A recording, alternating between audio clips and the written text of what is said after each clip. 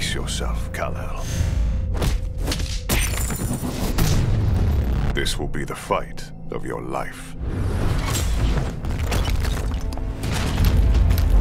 Kal-El! No matter how you choose to live your life, you're going to change the world.